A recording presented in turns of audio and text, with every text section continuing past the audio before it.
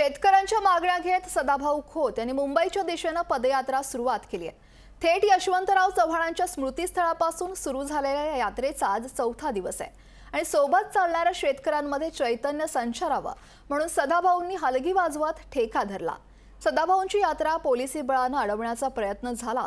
त्याच विषयावर त्यांच्याशी संवाद साधलाय आमचे प्रतिनिधी प्रशांत जगताप यांनी. शेतकऱ्यांच्या विविध मागण्या घेऊन सदाभाऊ खोत जे आहे ते कराडपासून निघालेले आहेत. सध्या सातारामध्ये ते पोहोचले आणि आपल्यासोबत सदाभाऊ खोत आहेत. आपण त्यांच्या ज्या काही मागण्या आहेत ते जाणून घेणार काय सांगाल भाऊ? आजचा तुमचा चौथा दिवस आहे. काय सांगाल? या- या कडक उन्हामध्ये राज्यातला शेतकरी रस्त्यावरती आलेला आहे. तो या मैबाप सरकारकडं मागणं मागायला आलेला आहे. की शेताभातात राबणारे आम्ही माणसं कधी सुलतानी कधी आसमानी संकटानं आमचा बळी जातो. माझा बाप कर्जात जन्मतो कर्जात मरतो. आणि म्हणून तो का कर्जात जम- जन्मतो का कर्जात मरतो याचा कधीतरी शोध आम्ही घेणार आहे का नाही?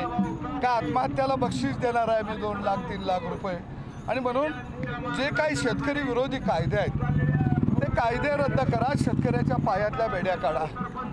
त्याच्या खळं भारलं खळ्यावर त्याच्या रास उभा राहिली की मग तुमची निर्यात बंदी येते आहे. मग तुमचं आयात सुरू होती या.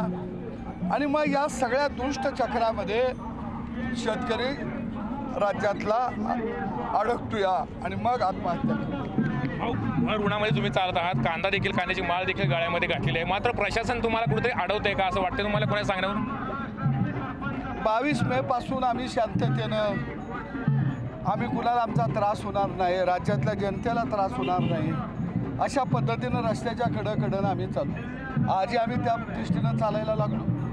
पण का भूमिका बदलली साताऱ्यात आल्यानंतर प्रशासनाची याचं मला आश्चर्य वाटायला लागले आणि म्हणून आज इथं मंत्री आल्यानंतर जर आम्हाला कोण चर्चा करायला सरकारचा प्रतिनिधी येणार असेल तर पहिल्यांदा त्यांना जाब विचारला जाईल की तुम्ही प्रशासनाचा बळाचा वापर केला का?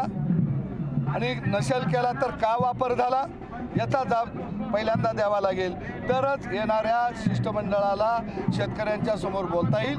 अन्यथा इंग्रजांच्या काळामध्ये जसं सायमन कमिशन आलेलं होतं आणि शेतकऱ्यांनी म्हटलेलं होतं सायमन कमिशन परत जा तशा घोषणा दिल्या जातात. पहिल्यांदा या उन्हात तानात चालणाऱ्या शेतकऱ्याला तुम्ही लुटारू समजलं का?